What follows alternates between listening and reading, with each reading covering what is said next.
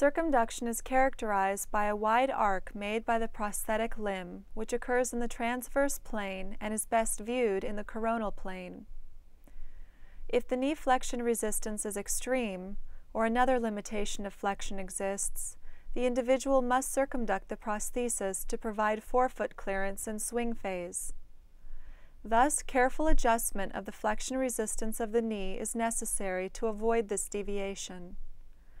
An individual may also circumduct as an antalgic gait mechanism when the medial brim of the socket impinges the tissues during swing phase.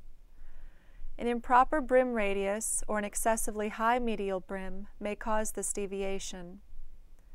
Circumduction may occur when the prosthesis has been excessively lengthened. When this occurs, an examination of components and socket fit will determine if an incorrect length is causing the individual to circumduct. This deviation may also be caused by an extension assist that is too strong.